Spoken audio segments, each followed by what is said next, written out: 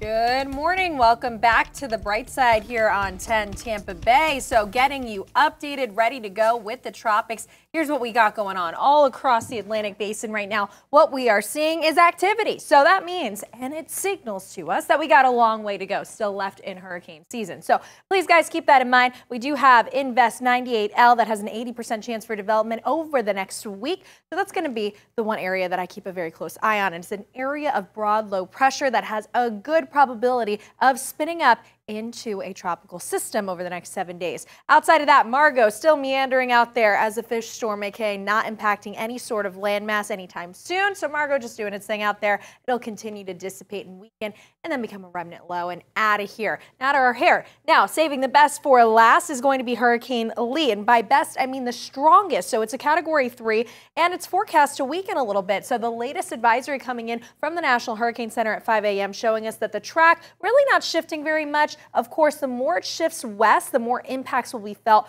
for New England, and that is something that they need to keep an eye on here closely as we head into this weekend. For Florida, no threat for us here locally. That's great as the system will continue to move northward and then potentially making landfall somewhere along Canada to Maine as we head into early Sunday. So that is going to be what we're our eye on in the tropics over the next couple of days, but models in really great agreement of that landfall being somewhere between Maine to Canada. However, impacts will be felt from Long Island all the way to Canada because of how strong the system is. But coming up, we'll have more on this and also your local forecast all next.